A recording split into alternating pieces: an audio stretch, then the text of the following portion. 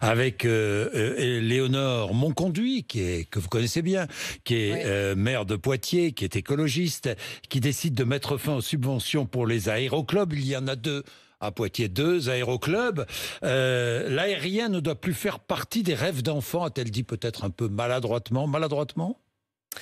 D'abord, si vous permettez, ça suffit la chasse aux maires écologistes avec au plus haut sommet euh, de l'État euh, cette volonté chaque week-end de chercher des noises pour un oui, pour un non.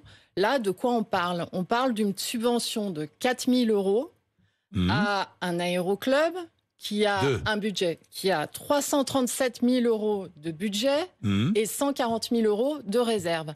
Dans le cadre d'une délibération de la mairie de Poitiers, pour aider plus les associations qui sont en difficulté.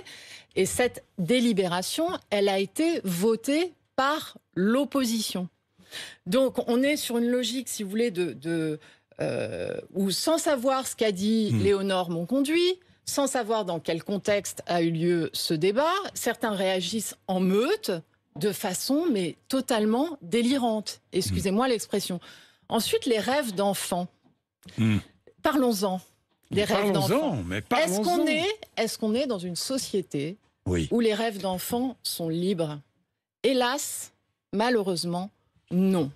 La société de consommation, la publicité, cherche à influencer les imaginaires tous les jours. Et tous les parents qui m'écoutent savent de quoi je parle quand votre fille, votre garçon vous dit il me faut ceci, j'ai besoin du dernier téléphone comme, ce comme cela, je veux la console machin, parce que par peur d'être, euh, euh de pas trouver sa place avec hmm. ses copines ou avec ses copains. On est assujetti à plus de 1000 messages publicitaires par jour.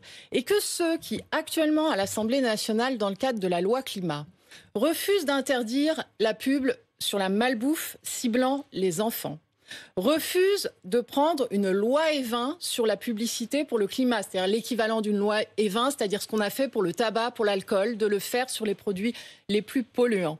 Euh, viennent nous donner, si vous voulez, des leçons de liberté, de l'imaginaire des enfants, je, trouve, je trouve ça incroyable.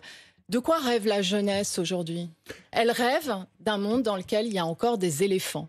Elle rêve d'un monde dans lequel il y a encore une forêt amazonienne. Donc mettons les choses à leur place.